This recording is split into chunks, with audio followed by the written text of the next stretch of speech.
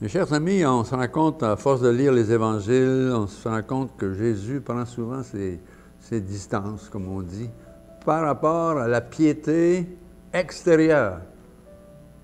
On pris un grand mot, légaliste. Bon. C'est la loi. On prie. C'est l'heure de prier aujourd'hui, donc on prie. ça peut être bon, mais ça dépend. Ça dépend.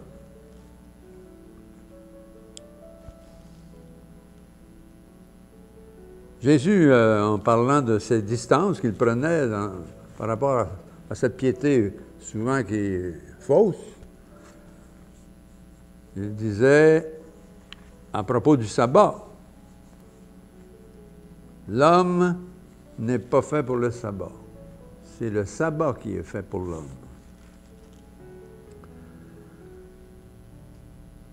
Jésus pose vraiment les fondements de la conscience, je dirais même la conscience morale, selon laquelle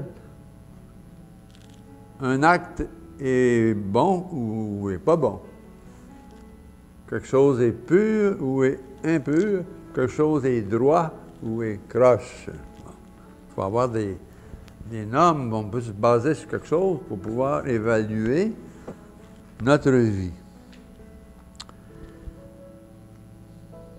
Donc, ce n'est pas parce qu'une personne fait bien toutes ses prières, euh, sa gestuelle, etc. C'est pas pour, pas pour ça que, ça plaît. Ça dépend si le cœur y est. C'est toujours la même chose. On revient toujours à la même chose. Jésus euh, je dirais que Jésus questionne la, contradiction qu'il y a parfois entre ce que je fais et ce que je dis. on est chanceux quand on a des amis qui nous, nous, nous le montrent. ce que tu as dit, là, tu devrais le faire. Tu ne le fais pas. On peut s'évangéliser comme ça, mutuellement, euh, en, toute, en toute charité.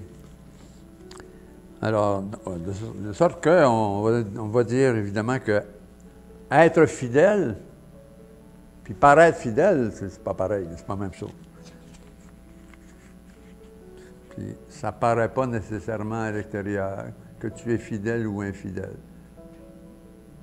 Alors, c'est devant Dieu que nous sommes, je dirais, euh, toute ouverture.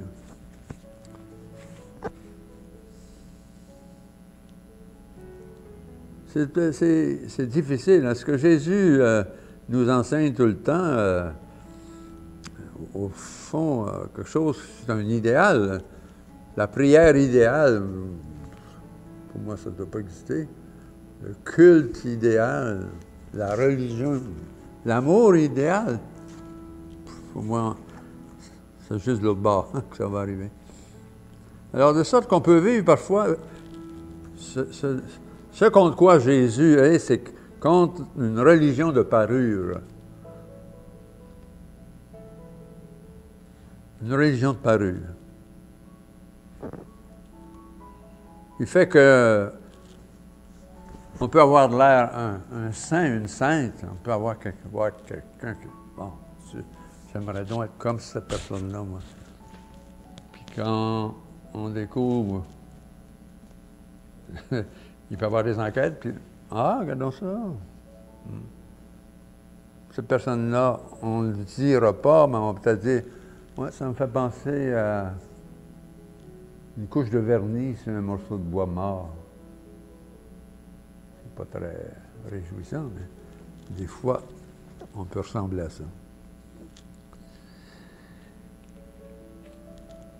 Et Jésus disait haut et fort,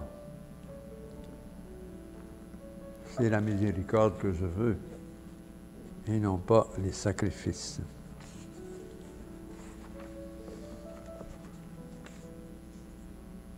Lorsque le cœur est pur, il, donne des pensées pures. Et c'est, euh, c'est en nous. On peut comparer euh, notre vie, euh, notre intérieur à une source. Une source qui, donne de l'eau, de l'eau limpide. Alors, c'est à cette source-là qu'on va s'abreuver.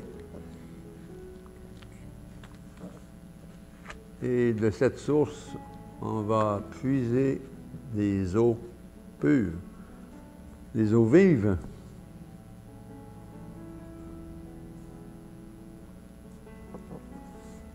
Et je pense que c'est à cette profondeur-là de notre être que se joue le combat de notre foi, que se joue la vérité ou la fausseté.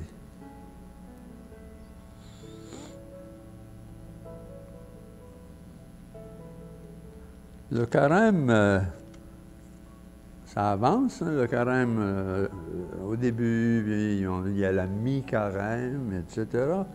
Bon, C'est un temps merveilleux de conversion.